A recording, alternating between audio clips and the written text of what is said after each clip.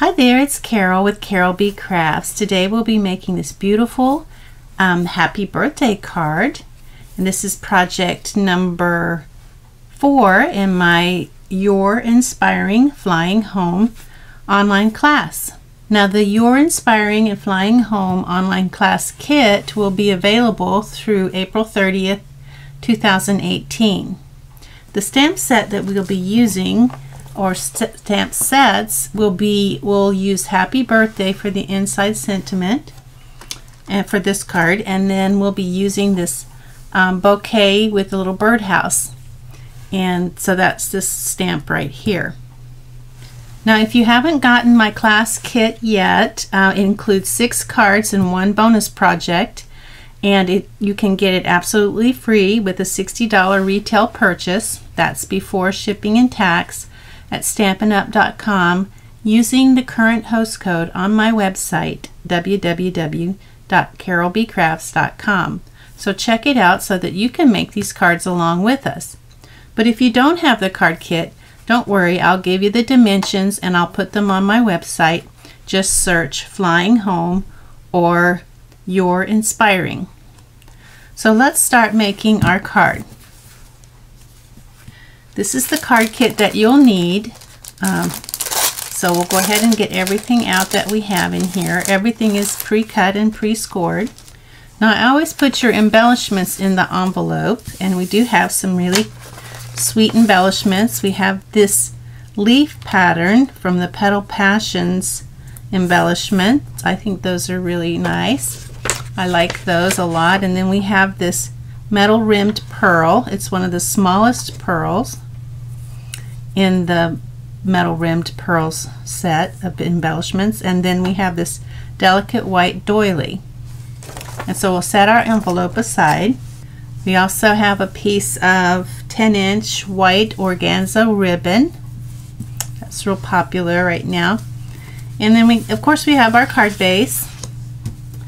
And uh, then we have a rich razzleberry it's four by five and a quarter. Then on top of that, we'll have a piece of Whisper White, three and one eighths by five and a quarter.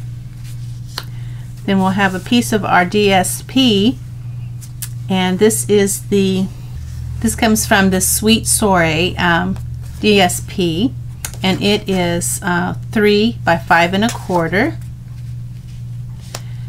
Then for the inside sentiment, we have a piece of rich razzleberry, three and a quarter by four and a quarter. And then we have two pieces of Whisper White for you only need one, and they are three by four for the inside sentiment. Now for the little bird um, and the, the scallop circle, this is Rich Razzleberry. It is the largest scallop circle and the layering circles framelits. And then these two pieces of Whisper White, thick Whisper White, are from the second largest um, layer circle in the layering circles framelits. So I wanted to stress that it is important that you use the thick Whisper White for the circles because we will be doing some uh, watercoloring here uh, with our watercolor pencils. So those pencils that you'll need for the watercoloring, there's eight colors of the 13. And this is a really good value for coloring. If you want to just um, use colored pencils, this is a good, good way to be economical. So the colors that we'll need is Old Olive, Rich Razzleberry, Early Espresso, Basic Black, Daffodil Delight, uh, Pacific Point, Basic Gray, and Calypso Coral.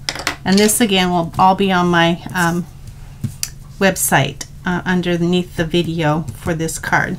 We'll need a piece of paper towel to wipe our aqua painter brush, a little bit of water, and if you'll probably you may need a sharpener if your pencils get a little dull okay I think we're ready to go ahead and get started we'll do our coloring first and our stamping So we'll need these two pieces here and these two pieces here. Everything else we can put aside for now. Just be sure not to lose your little embellishments. Now you will need your Stamp-A-Majig for our stamping because you'll need to place your stamp um, on the circle. So I'll get my snail out and put some snail on the edges of the circles to keep them in place. I give you two, you only need the one just in case. And this this large stamp here, it it really will not fit on a D block that well. I don't even think it will. So you'll need an E block if you use this stamp set flying home. Or also the um, you're inspiring you'll also need it for that one as well okay so we're going to use memento ink and we'll go ahead and ink this up and I like to rub it a little bit and tap it rub and tap rub and tap get it good and inked up and once we get it inked up, we'll make our image here in the corner. And this way we can place it perfectly on our circle where we want it. Move this aside. So it's best to just uh, look at your flowers and make sure that they are about the same distance away from the edge of the circle and then kind of make sure you're birdhouse at the bottom is kind of straight. And that looks about right, right there. So I'll, I'll go ahead and ink up my stamp again. Oops. And I'm sure you never have a oops moment like that. do you? I'm I do all the time. So these big blocks are they're kind of hard to hang on to but they do the job so that's good all right so I have have it good and inked up my Stamp-A-Majig still in place I'm going to go straight down give it a little help. Put that back in place. And then straight up. Okay that looks pretty good. So what we'll do is if you want to go ahead and do the other one um, that would be a good time to do it in case you mess up and you want to do another one. Okay, so we have our uh, cleaned off our stamp and our um, plastic for our uh, Stamp-A-Majig. So now we're going to go ahead and put do the sentiment, um, inside sentiment, and I'm going to put this along one of these lines at the bottom. Match it up, and the reason I do that is because well, hopefully I will do that. the reason I do that is because I'm going to bring in this piece of uh, rich razzleberry that's going to go underneath the sentiment. I'm going to use that right now to help me put my sentiment stamp on straight. And I'm going to be using Happy Birthday. But you could do the Happy Mother's Day or you could even do Happy Easter if you wanted to. I thought this was a beautiful birthday card though. So we'll ink up our stamp and stamp the image on our plastic. So what I'm going to use this for is I pretty much know I want my happy birthday about right here. It's about one and a quarter inches from the top. So I know that this matches on the line here and here, so it's straight across, and that will help me to put my happy birthday straight across. I'll just put those two fingers down and pull this out. Put this in place. Remove this and put my ink my stamp up again. And then I'm going to go straight down and straight up. And I have my happy birthday. Now before I'm done, I'm going to go ahead and put a little bird here. So I'll get my Stamp-A-Majig. I'm just going to leave the happy birthday there for now. I have the little bird with the feet. Going to ink that up and make an image. And then I'm going to use that image to place my bird about right there, above top right of the happy birthday. Ink up my stamp again. Make sure none of my edges have ink on them because that will mess up my, um, and I see I have some there, so I'm going to clean that off.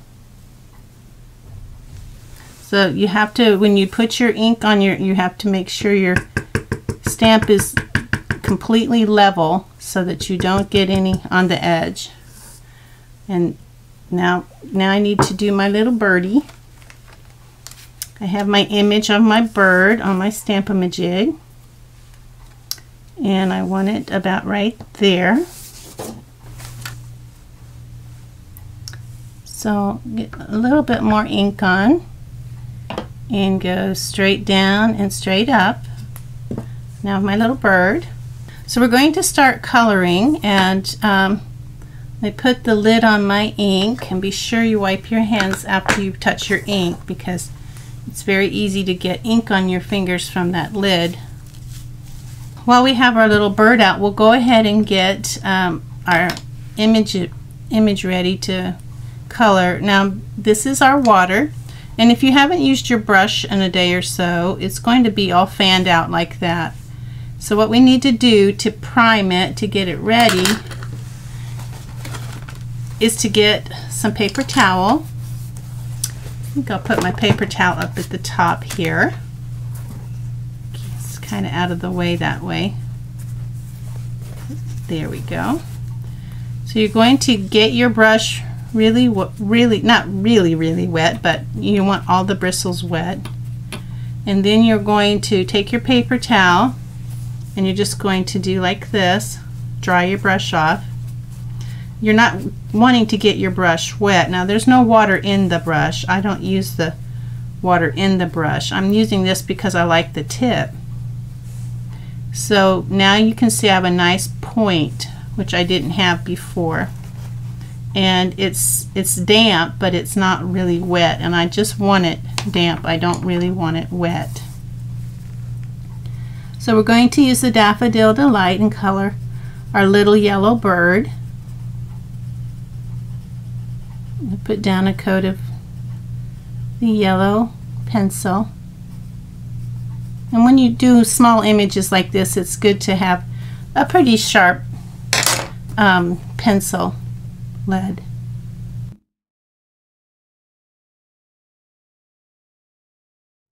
Now I'm going to come in with the second coat with the pencil just to make it a little darker.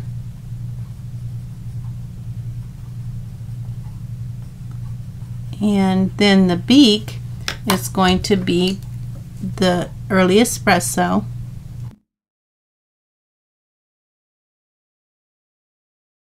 And that I'm going to hit with my blender pen, wherever it got off to, just to soften it up a little bit. And wipe off my pen. And now that's ready to go on the inside. So we're going to bring in one of the images of our little birdhouse. And we're going to start with the early espresso. And let me bring my card over here so we can use it as a pattern. I'm going to do the little birdhouse and that's going to be early espresso so we're just going to put a light coat of early espresso on there.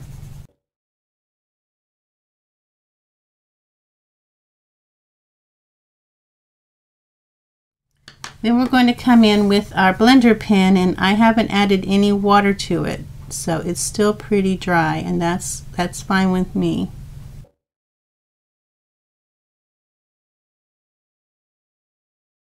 And then while it's still wet I'm going to come back in with my pencil and do like the circle marks.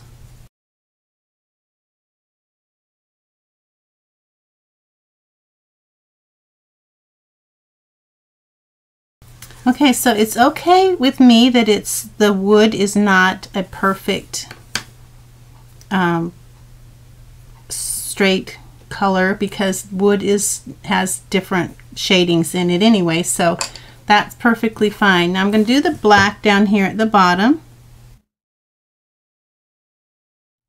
Just a little bit of black and then I'm probably should clean my brush off and get that wet.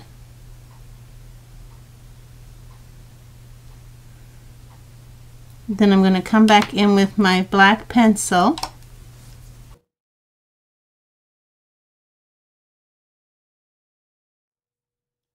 I decided to bring in my camera so you could um, see a little better what I'm doing.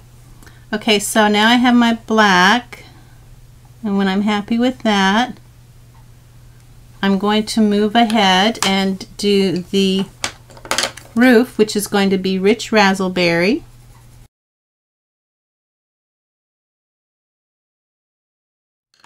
Now I'm going to just dampen it here with my pencil, with my um, aqua painter. I do one side at a time so that it doesn't dry.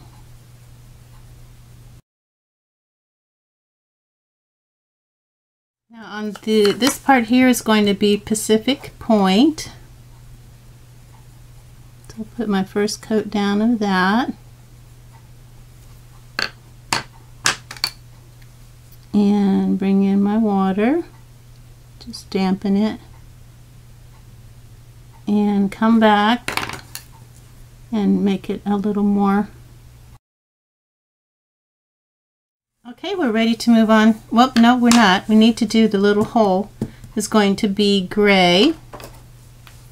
Sorry. Okay, now we're ready to move on. I'm going to clean off my pencil, my blender pen. I get a little wet again. Now we're going to do the little bird, which is going to be yellow.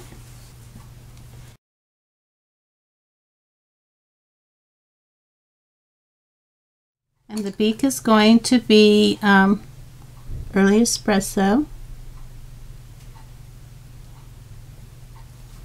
And again, I'm going to use my blender pen for that.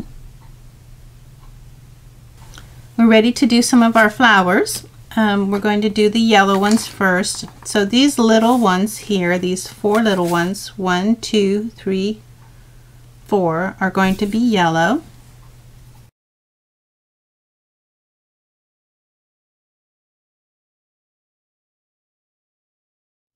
These three flowers here, one, two, three, are going to be rich razzleberry.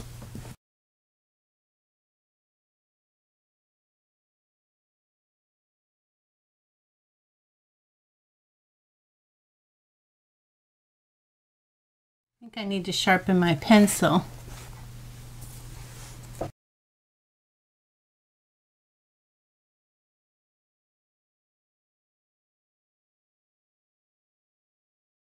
Now this little flower here is also going to be rich razzleberry on the edges.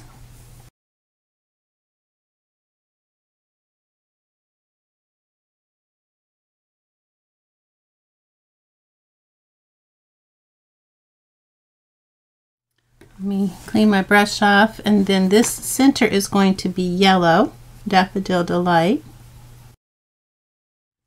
And then this flower here, this large flower is going to be Calypso Coral. You can see this one right here.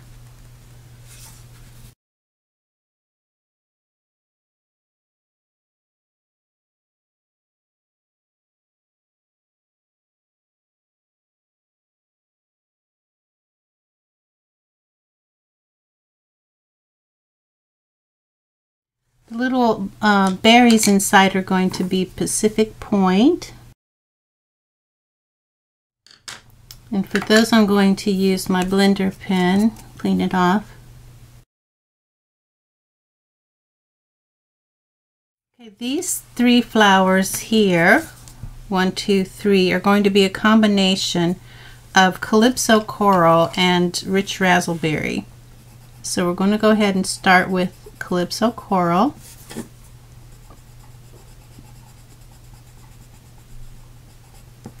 Now there is a tiny little blueberry right there. So we're going to grab that while we're at it.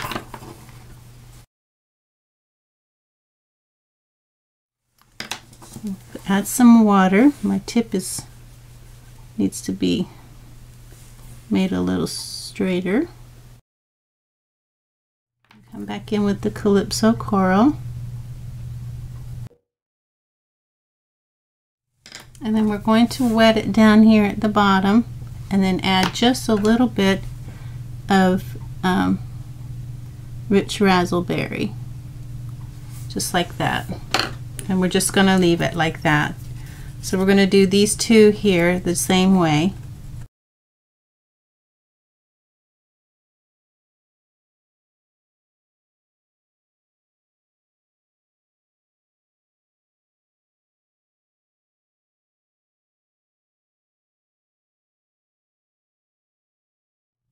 Now we're ready to do our leaves and we're going to do old olive. Now there's three kinds of leaves.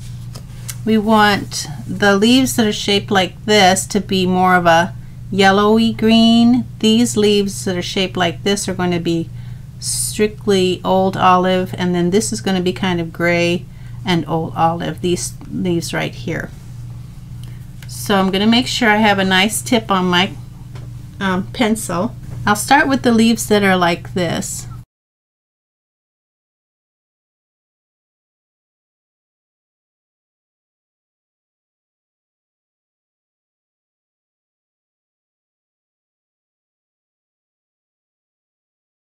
Now I'm going to add some yellow, lightly add some yellow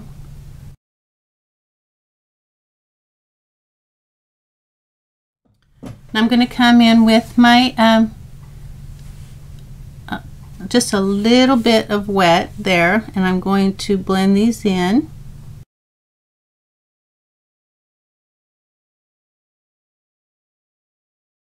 Okay, I think I blended them all in. Clean off my brush. I'm going to bring my old olive in again and this time I'm going to do these leaves right here, these like like fern-like leaves. I need to sharpen my pencil again. I'm going to hit these with some water and then a second coloring.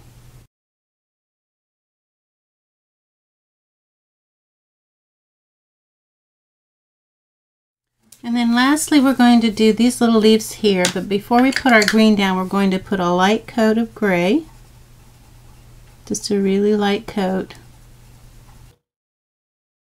and then we're going to put our green on top of that. We'll hit it with our water. I might come in and just fill in around the edges there. Okay, we are done with our image.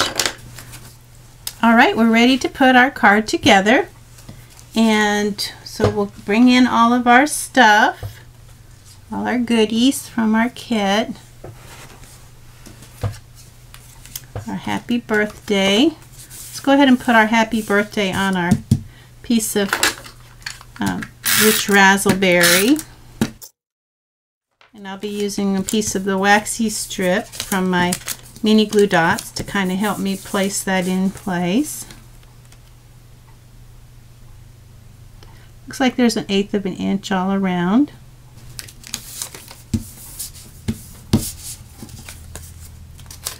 Now we're going to, um, the valley facing us, we're going to fold our card and use our bone folder to crease our fold.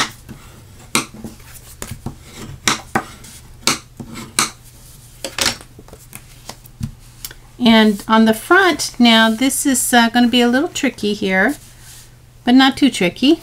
Uh, we're going to, uh, let's go ahead and make our our image here. So we're going to take the image that we just colored, put it on top of our rich razzleberry scallop circle in the center.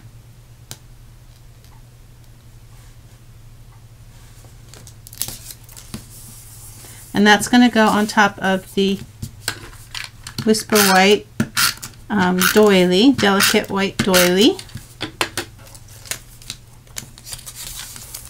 In the center.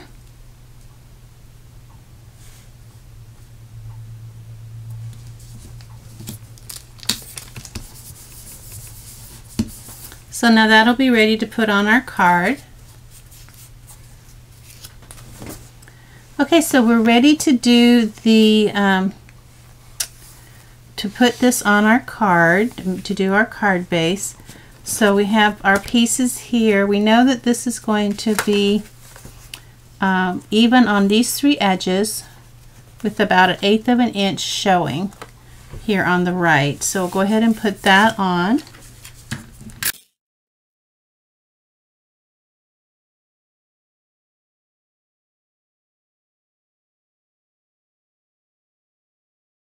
And then this is going to go on top of our rich razzleberry. We want a little more than a 16th of an inch here on the edge, but not an eighth. And then the white will be on the right.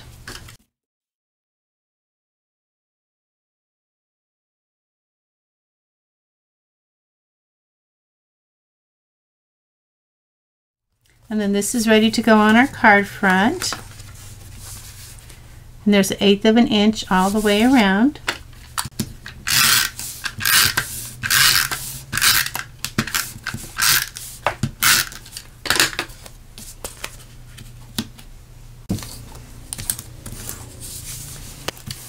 And we want to make sure that this is on the right of our card base.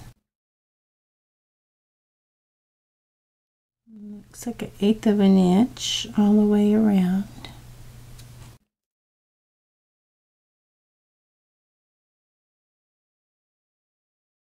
And we'll go ahead and put the inside sentiment on the inside.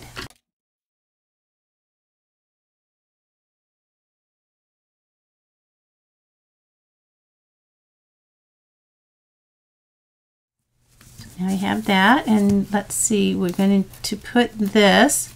Now this is going to go um, bring this in. The edge is going to be even with the edge of the rich razzleberry and we want it about a half an inch. This where the um, doily is a half an inch from the top of the whisper white so we'll go ahead and put that on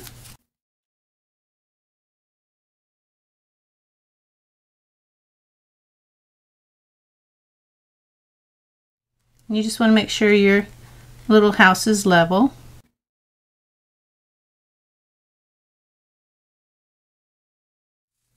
Now just a couple things left.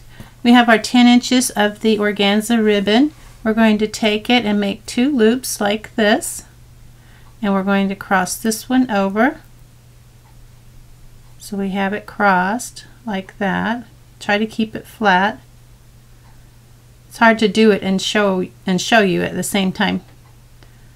So we'll make our loops cross over and then this loop we're going to push through the loop that we just made like that and pull it tight. And you can adjust it. Before you pull it tight adjust it to the the width that you'd like. And it's not a big bow so let's see and you can decide which side you like I like this side better so that's going to go there. Now we have this little um, embellishment, which I just think these are wonderful. So get a glue dot from your adhesive pack and put this down on top of a glue dot.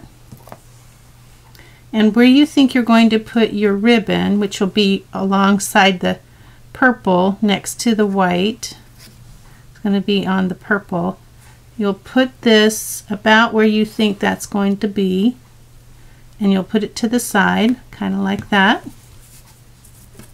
You do want to cover this part up with the the part of the ribbon though. That might be a little bit too far away from the purple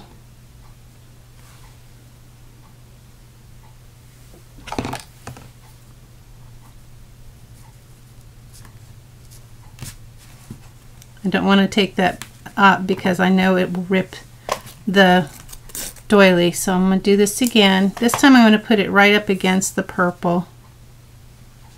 There. That way I know that the bow is going to hide it. Like that. And then next to that, I guess it's best to go ahead and put the bow on. We're going to put the bow on with the glue dot. So um, put on the back, put a glue dot and pinch it. And then put the bow where you want it. Uh, about right there, I think. Maybe a little higher. Over here. There I think that's good. There's really no right or wrong. Just want it to be pretty. And now we're ready to put our pearl on, which is our metal rimmed pearl. We'll take the back off. I'm using my paper piercer. My, I think this might be my favorite tool. I'm not sure. It's close if it's not. And I'm just going to set that right next to the leaf, but not on the leaf. And now I'm going to go ahead and trim those. And normally I trim it this way, but I think I'm going to trim it this way. Trim it up like that. Alrighty, we have our card. So this is card number four in my um, You're Inspiring Flying Home um, card class. Now this class kit will be available till um, April 30th, 2018. But if you're watching this after 2008, March, uh, April 30th, 2018, check out my website anyway, www.carolbcrafts.com to see what current class I will be offering. Thanks for watching and I'll see you for card number five. Bye now.